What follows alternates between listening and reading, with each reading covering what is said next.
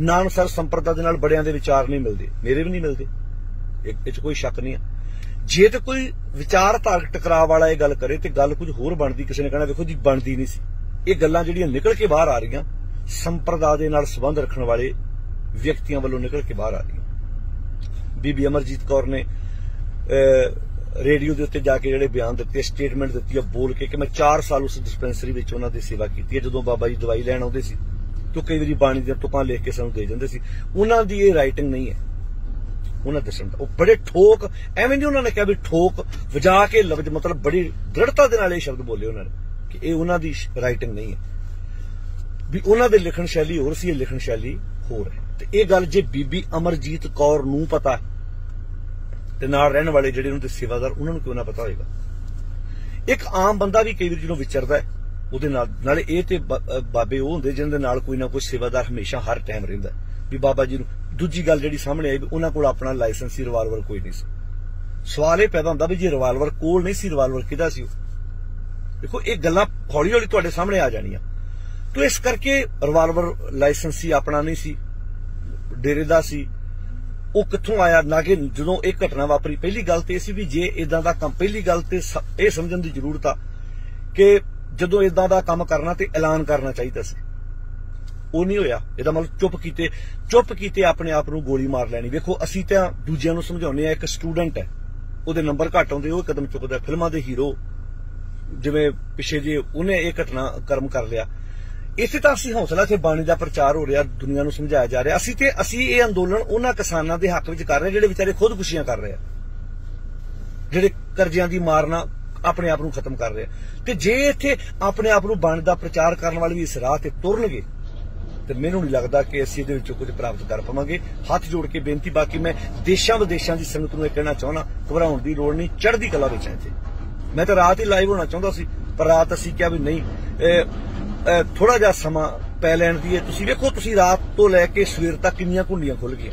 ਕਿੰਨੇ ਉਹਨਾਂ ਦੇ ਪੈਰੋਕਾਰਾਂ ਵੱਲੋਂ ਇਹ ਗੱਲਾਂ ਸਾਹਮਣੇ ਆ ਗਈਆਂ। ਮੈਨੂੰ ਪਤਾ, ਸਾਡੀ ਇਹ ਜਿਹੜੀਆਂ ਗੱਲਾਂ ਵਾ, ਜਿਹੜੇ ਉਹਨਾਂ ਦੇ ਪੈਰੋਕਾਰ ਜਿਹੜੇ ਜੁੜੇ ਹੋਏ ਨੇ, ਉਹਨਾਂ ਨੂੰ ਚੰਗੀਆਂ ਨਹੀਂ ਲੱਗਣੀਆਂ। ਪਰ ਥੋੜਾ ਜਿਹਾ ਬਰੀਕ ਬੁੱਧੀ ਦੇ ਨਾਲ, ਜਿਹੜਾ ਧਿਆਨ ਦੇ ਨਾਲ, ਇਹ ਸਾਨੂੰ ਸਮਝਣ ਤੇ ਵਿਚਾਰਨ ਦੀ ਜ਼ਰੂਰਤ ਵਾ। ਕਿ ਜਿਹੜੇ ਉਹਨਾਂ ਦੇ ਪੈਰੋਕਾਰ, ਉਹਨਾਂ ਨੂੰ ਹੱਥ ਜੋੜ ਕੇ ਬੇਨਤੀ ਹੈ ਕਿਉਂਕਿ ਜਿਹੜੀ ਉਹ ਬੀਬੀ ਨੇ ਬਿਆਨ ਕੀਤਾ ਉਹਨੂੰ ਉਹਨੂੰ ਪੁੱਛਿਆ ਗਿਆ ਬੀਬੀ ਨੂੰ ਕਿ ਤੁਸੀਂ ਕੀ ਸਮਝਦੇ ਹੋ? ਕਹਿੰਦੇ ਵੀ ਐਡੀ ਉੱਚੀ ਸੋਚ ਵਾਲੇ ਯਾਨੀ ਕਿ ਉਹਨਾਂ ਦੇ ਕਹਿਣ ਮੁਤਾਬਕ, ਬੀਬੀ ਅਮਰਜੀਤ ਕੌਰ ਦੇ ਮੁਤਾਬਕ। ਕਿ ਉਹ ਐਡੀ ਬਾਣੀ ਦੀ ਗੱਲ ਕਰਨ ਵਾਲੇ ਜਿਹੜੇ ਸਾਨੂੰ ਹਰ ਗੱਲ ਨਾਲ ਬਾਣੀ ਸਮਝਾਉਂਦੇ ਆ, ਉਹ ਆਪਣੇ ਆਪ ਨੂੰ ਗੋਲੀ ਨਹੀਂ ਮਾਰ ਸਕਦੇ। ਇਹ ਬੀਬੀ ਅਮਰਜੀਤ ਕੌਰ ਦੀ ਸਟੇਟਮੈਂਟ ਹੈ ਦੂਜੀ ਉਹਨਾਂ ਨੇ ਜਿਹੜੀ ਗੱਲ ਕਹੀ, ਇਹ ਪੁਆਇੰਟ ਦੱਸ ਰਿਹਾ। ਦੂਜੀ ਗੱਲ ਉਹਨਾਂ ਕਹੀ ਵੀ ਜਿਹੜਾ ਉਤੇ ਰਾਈਟਿੰਗ ਹੈ ਉਹਨਾਂ ਦੀ ਆਪਣੀ ਨਹੀਂ ਇਹਦਾ ਮਤਲਬ ਲਿਖਿਆ ਕਿਸੇ ਬਾਹਰ ਵੱਲੋਂ। ਹਰ ਕੋਈ ਬੰਦਾ ਸਿਗਨੇਚਰ ਕਰਦਾ ਉੱਤੇ ਕੋਈ ਸਿਗਨੇਚਰ ਨਹੀਂ ਹੈਗੇ। ਤੀਜੀ ਗੱਲ ਜਿਹੜੀ ਉਹਨਾਂ ਨੇ ਆਪਣੇ ਵੱਲੋਂ ਕਹੀ ਹੈ, ਜਦੋਂ ਉਹਨੂੰ ਪੁੱਛਿਆ ਗਿਆ ਬੀਬੀ ਅਮਰਜੀਤ ਕੌਰ ਨੂੰ ਵੀ ਤੁਸੀਂ ਕੀ ਮੰਨਦੇ ਹੋ, ਫਿਰ ਇਹਦੇ ਪਿੱਛੇ ਕੋਈ ਸਰਕਾਰ ਦੀ ਪਲੈਨਿੰਗ ਹੈ ਉਹ ਕਹਿੰਦੀ ਵੀ ਹੋ ਸਕਦਾ ਕੋਈ ਗੱਦੀ ਦਾ ਚੱਕਰ ਇਹਦਾ ਮਤਲਬ ਜੇ ਬੀਬੀ 4 ਸਾਲ ਉਸ ਡਿਸਪੈਂਸਰੀ ਸੇਵਾ ਕੀਤੀ ਨੂੰ ਮਾੜੀ ਮੋੜ ਤੇ ਕਿਤੇ ਖਬਰ ਮਿਲੀ ਹੋਏਗੀ ਨਾ, ਕੋਈ ਗੱਦੀ ਦਾ ਚੱਕਰ ਵੀ ਹੋ ਸਕਦਾ ਇਸ ਤੋਂ ਬਾਅਦ ਜਦੋਂ ਗੱਲ ਚੱਲਦੀ ਹੈ ਕਿ ਬਾਬਾ ਜੀ ਆਪਣੇ ਕੋਲ ਰਿਵਾਲਵਰ ਨਹੀਂ ਸੀ ਰੱਖਦੇ। ਇਹ ਇੱਕ ਕੱਲੀ ਕੱਲੀ ਪੁਆਇੰਟ ਆ ਵੀ ਰਿਵਾਲਵਰ ਕੋਲ ਨਹੀਂ ਸੀ ਆਪਣੇ ਰੱਖਦੇ।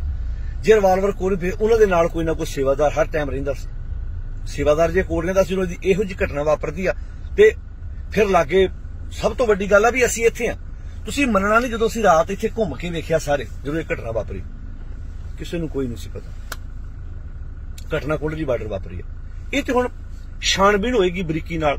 ਫਿਰ ਇਹ ਵੀ ਗੱਲ ਆਈ ਵੀ ਜੇ ਇਹ ਘਟਨਾ ਵਾਪਰੀ ਤੇ ਖਾਣਾ ਸਭ ਤੋਂ ਪਹਿਲਾਂ ਸੋਨੀਪਤ ਚਾਹੀਦਾ ਸੀ। ਖੜਿਆ ਪਾਣੀਪਤ ਗਿਆ। ਪਾਣੀਪਤ ਸੋਨੀਪਤ ਤੋਂ ਵੀ ਅੱਗੇ ਹੈ।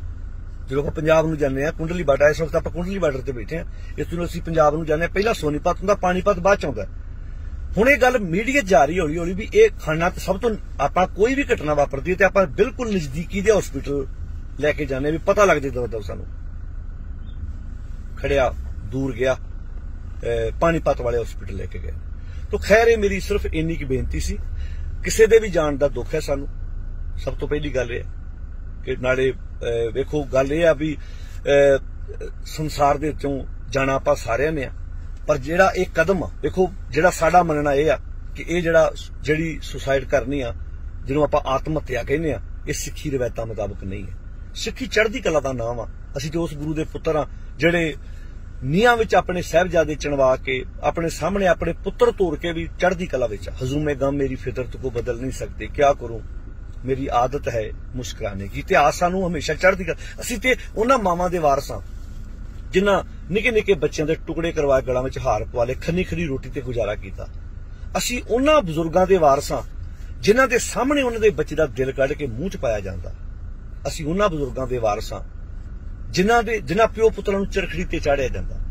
ਅਸੀਂ ਸਾਡਾ ਇਤਿਹਾਸ ਸਾਡੀ ਗਵਾਹੀ ਭਰਦਾ, ਸਾਡੀ ਗੁਰਬਾਣੀ ਸਾਨੂੰ ਅੱਗੇ ਤੋਰਦੀ ਆ। ਸਾਨੂੰ ਇਤਿਹਾਸ ਤੇ ਗੁਰਬਾਣੀ ਵਿੱਚੋਂ ਬਲ ਮਿਲਦਾ। ਜੋ ਇਹ ਘਟਨਾਵਾਂ ਸਾਨੂੰ ਅੰਦਰੋਂ ਮਜ਼ਬੂਤ ਕਰਦੀਆਂ। ਸਾਡੀ ਰੋਜ਼ ਦੀ ਅਰਦਾਸ ਪੰਜਾਂ ਪਿਆਰਿਆਂ, ਚੌਂ ਸਾਹਿਬਜ਼ਾਦਿਆਂ 40 ਮੁਕਤਿਆਂ, ਇਹ ਕੀ ਹੈ? ਇਹ ਦ੍ਰਿੜਤਾ ਹੈ। ਜਦੋਂ ਅਸੀਂ ਪੰਜ ਪਿਆਰਾਂ ਦਾ ਨਾਮ ਲੈਨੇ ਸਾਡੇ ਅੰਦਰ ਪੰਜਾਂ ਪਿਆਰਾਂ ਦਾ ਉਹ ਪੂਰਾ ਜੀਵਨ ਆਉਂਦਾ ਹੈ। ਚਾਰ ਸਾਹਿਬਜ਼ਾਦਿਆਂ ਜਦੋਂ ਅਸੀਂ ਨਾਮ ਲੈਨੇ ਆ ਚਾਰ ਸਾਹਿਬਜ਼ਾਦਿਆਂ ਦੀ ਉਹ ਦ੍ਰਿੜਤਾ ਚਮਕੌਰ ਸਾਹਿਬ, ਫਤਿਹਗੜ੍ਹ ਸਾਹਿਬ, ਉਹ ਸਾਡੇ ਅੰਦਰ ਇੱਕ ਸਾਡਾ ਆਤਮ, ਆਤਮਿਕ ਵਿਸ਼ਵਾਸ ਵਧਾਉਂਦੀਆਂ ਨੇ। ਇਸ ਕਰਕੇ ਕਿਸੇ ਨੂੰ ਢੈਂਦੀ ਕਲਾ 'ਚ ਨਹੀਂ ਜਾਣਾ ਚਾਹੀਦਾ।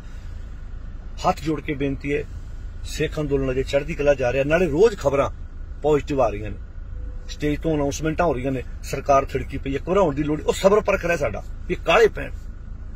ਇਹ ਖਿੱਲਣ ਇਥੋਂ, ਇਹਨਾਂ ਨੂੰ ਤੋਰੀਏ ਇਥੋਂ। ਆਪਣਾ ਸਬਰ 6 ਮਹੀਨਿਆਂ ਦਾ ਰਾਸ਼ਨ ਲੈ ਕੇ ਆਏ ਜਿਹੜੇ ਕਿਸਾਨ। ਅਜੇ ਤੇ ਦਿਨ ਵੀ ਹੋਏ ਨੇ। ਜਾਂ ਤੇ 5-7 ਮਹੀਨੇ ਵਾਪਰ ਗਏ ਹੁੰਦੇ। 6 ਮਹੀਨਿਆਂ ਜਦੋਂ ਅਸੀਂ ਕਹਿ ਕੇ 6 ਮਹੀਨੇ ਆਏ ਆ, ਤੇ 8-9 ਮਹੀਨੇ ਵਾਪਰੇ ਹੁੰਦੇ, ਫਿਰ ਅਸੀਂ ਕਹਿੰਦੇ, ਨਹੀਂ ਜੀ, ਸੁਣ ਨਹੀਂ ਰਹੀ। ਸੁਣ ਰਹੀ ਹੋ। ਉਹ ਅੰਦਰੋਂ ਥੜਕੀ ਪਈ ਆ। ਕਿਉਂਕਿ ਪੂਰਾ ਦੇਸ਼, ਪੂਰੀ ਦੁਨੀਆ ਨਾਲ ਇਸ ਅੰਦੋਲਨ ਦੇ ਖਲੋਤੀ ਹੋਈ ਆ। ਤੇ ਮੇਰੀ ਹੱਥ ਜੋੜ ਕੇ ਬੇਨਤੀ ਆ, ਜਿਹੜੀ ਕੱਲ ਘਟਨਾ ਵਾਪਰੀ ਆ, ਨਹੀਂ ਸੀ ਵਾਪਰਨੀ ਚਾਹੀਦੀ। ਦੇਖੋ ਜੀਵਨ ਕੀਮਤੀ ਹੁੰਦਾ ਹਰ ਇੱਕ ਇਨਸਾਨ ਦਾ। ਵਿਚਾਰਧਾਰਕ ਮਤਭੇਦ ਹੋਣੇ ਇੱਕ ਅਲੱਗ ਵਿਸ਼ਾ ਹੁੰਦਾ ਹੈ। ਪਰ ਮੇਰੀ ਹੱਥ ਜੋੜ ਕੇ ਬੇਨਤੀ ਆ ਸ਼ਹਾਦਤ ਹੋਰ ਚੀਜ਼ ਹੈ, ਸ਼ਹਾਦਤ ਦਾ ਬਹੁਤ ਵੱਡਾ ਉੱਚਾ ਸੁੱਚਾ ਸੰਕਲਪ ਹੈ। ਉਹਨਾਂ ਦੇ ਪੈਰਾਵਕਾਰਾਂ ਨੂੰ ਵੀ ਬੇਨਤੀ ਵੀ ਅੱਖਾਂ ਮੀਟ ਕੇ ਇਸ ਤੇ ਵਿਸ਼ਵਾਸ ਕਰਨ ਦੀ ਬਜਾਏ ਇਹਦੀ ਤਹਿਕੀਕਾਤ ਕਰੋ ਬਰੀਕੀ ਦੇ ਨਾਲ। ਜਿਹੜੀਆਂ ਪਰਤਾਂ ਹੋਰ ਖੁੱਲਣਗੀਆਂ, ਹੋ ਸਕਦਾ ਕੱਲ ਤੱਕ ਕੁਝ ਹੋਰ ਗੱਲ ਨਿਕਲ ਆਵੇ। ਤੇ ਐਵੇਂ ਭਾਵਨਾ ਦੇ ਵਹਿਣ ਚ ਵਹਿਣ ਦੀ ਜ਼ਰੂਰਤ ਨਹੀਂ।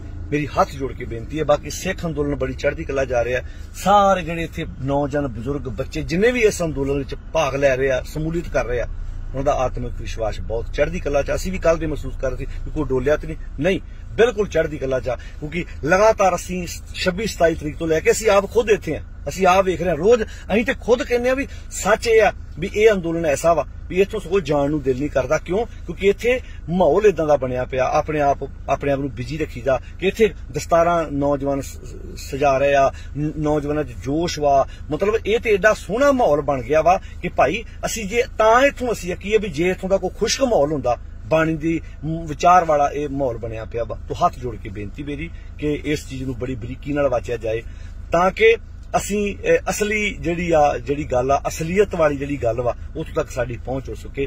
ਤੇ ਸਾਰਿਆਂ ਦੇ ਗਾੜੀ ਹੱਥ ਜੋੜ ਕੇ ਬੇਨਤੀ ਆ ਕਿ ਐਵੇਂ ਅਫਵਾਹਾਂ ਤੋਂ ਬਚੋ, ਆਪਣੇ ਆਪ ਨੂੰ ਚੜ੍ਹਦੀ ਕਲਾ ਵਿੱਚ ਰੱਖਣ ਦੀ ਲੋੜ ਆ, ਕਿਉਂਕਿ ਮੈਂ ਗੱਲ ਤਾਂ ਮੈਂ ਬੋਲਣਾ ਨਹੀਂ ਸੀ ਚਾਹੁੰਦਾ, ਪਰ ਮੈਂ ਤਾਂ ਨੋਟ ਕੀਤਾ ਕੱਲ ਦਾ ਕਈ ਫੌਜੀ ਵੀਰਾਂ ਵੱਲੋਂ ਵੀ ਇਦਾਂ ਦੇ ਬਿਆਨ ਆ ਰਹੇ, ਮੈਂ ਵੀ ਨੌਕਰੀ ਛੱਡ ਕੇ ਵੀ ਨਹੀਂ ਵੀਰੇ, ਅਜੇ ਭਾਵਨਾ ਦੇ ਵਹਿਣ 'ਚ ਵਹਿਣ ਦੀ ਲੋੜ ਨਹੀਂ ਆ। ਅਸੀਂ ਸਰਕਾਰ ਨੂੰ ਇਹ ਦੱਸਣਾ ਚਾਹੁੰਦੇ ਆ ਕਿ ਸਾਡੇ ਸਬਰ ਦੇ ਅੱਗੇ ਤੁਹਾਡਾ ਜ਼ਬਰ ਟੇਕ ਨਹੀਂ ਪਾਏਗਾ। ਅਸੀਂ ਉਹਨਾਂ ਗੁਰੂਆਂ ਦੇ ਪੁੱਤਰ ਮਾਂ ਅਸੀਂ ਉਹਨਾਂ ਪੈਰੋਕਾਰਾਂ, ਉਹਨਾਂ ਬਜ਼ੁਰਗਾਂ ਦੇ ਜਿਹੜੇ ਅਸੀਂ ਆਪਣੇ ਆਪ ਨੂੰ ਆਪਣੇ ਨੂੰ ਵਾਰ ਸਿਖਾਉਨੇ ਆ ਜਿਨ੍ਹਾਂ ਦੇ ਸਬਰ ਨੇ ਜ਼ਬਰ ਦਾ ਮੁਕਾਬਲਾ ਕੀਤਾ। ਤੋਂ ਆਓ ਆਪਣੇ ਆਪ ਨੂੰ ਚੜ੍ਹਦੀ ਕਲਾ ਵਿੱਚ ਰੱਖ ਕੇ ਅਸੀਂ ਇਸ ਅੰਦੋਲਨ ਦਾ ਹਿੱਸਾ ਬਣੀਏ ਤੇ ਆਪਣੇ ਮਨ ਨੂੰ ਢਿੰਦੀ ਕਲਾ ਵਿੱਚ ਲੈ ਕੇ ਨਹੀਂ ਜਾਣਾ। ਨਾਨਕ ਭਗਤਾਂ, ਸਦਾ ਵਿਕਾਸ ਵਾਲੀ ਗੱਲ ਲੈ ਕੇ ਆਉਣੀ। ਗੁਰੂ ਬਖਸ਼ਿਸ਼ ਕਰੇ। ਸਾਰਿਆਂ ਦਾ ਧੰਨਵਾਦ। ਵਾਹਿਗੁਰੂ ਜੀ ਕਾ ਖਾਲਸਾ। ਵਾਹਿਗੁਰੂ ਜੀ ਕੀ ਫਤਿਹ।